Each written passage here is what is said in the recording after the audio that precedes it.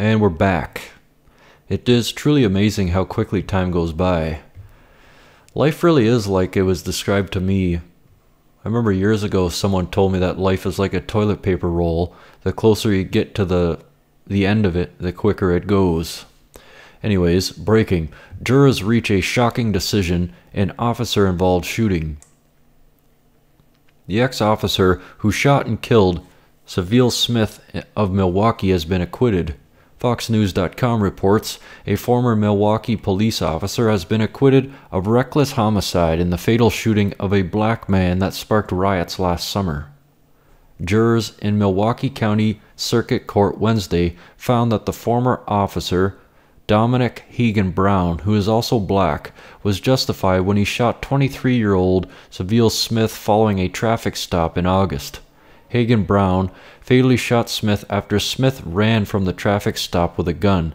During the foot chase, prosecutors claim Smith threw his gun over a fence and was defenseless when the officer shot him. And for those of you who have not seen the footage or just forgot, let's take a look and you be the judge, you be the jury.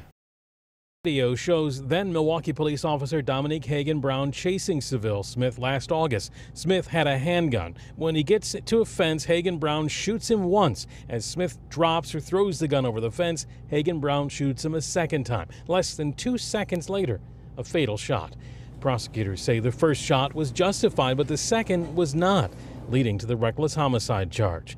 Heaggan Brown's partner testified why they were chasing Smith in the first place. They saw him with a gun. I don't recall exactly what position the firearm he was holding it in, but I observed the firearm, and at that point we made eye contact as, as we were, um, his shoulders were, were turned towards me, and we were making eye contact. The video of the shooting was played in real time in court so jurors could see just how fast it went down.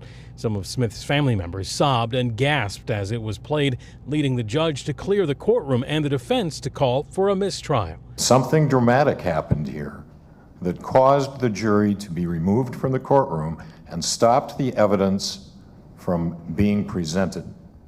And so at this time, I'm going to make a record asking for a mistrial. Breaking. Huge announcement from President Trump.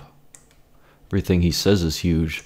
Just then, President Trump will host a re election fundraiser at his Washington hotel, campaign director confirms NBC News. Trump sure will be ready, and the Republicans sure will be ready by 2018 with the fundraising breaking records every month. I would be scared out of my wits if I was a Democrat right now. Michael Moore just went on a rampage. And it wasn't an eating rampage, even though, judging on him, I'm guessing he does that from time to time.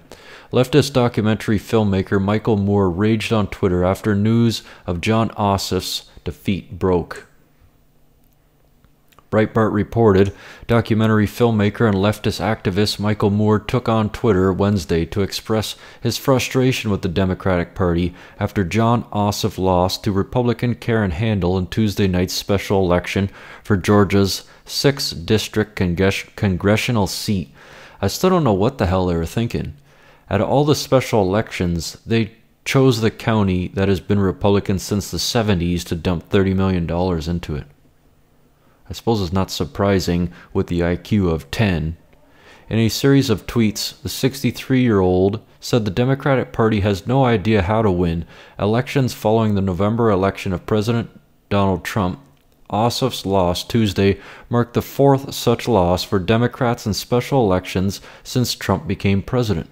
If you think the party who's won the vote in the six of the last seven presidential votes but holds zero power is now 0 and 4 in 2017 votes is going to win next year, get a frickin' clue, Moore tweeted.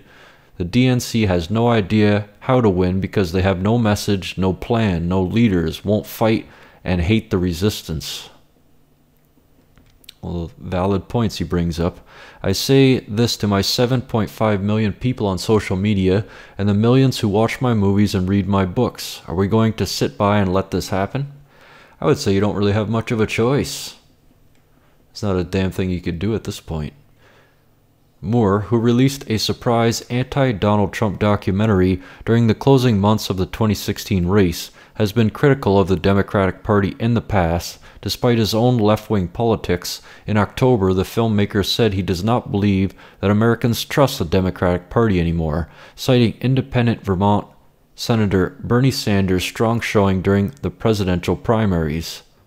If Hillary Clinton and the Democrats had a different time with him, or a difficult time with him rather, that should have been the red flag to everybody that there is a mood out there where people are upset at the Democrats and the Republicans, he said on NBC's Meet the Press.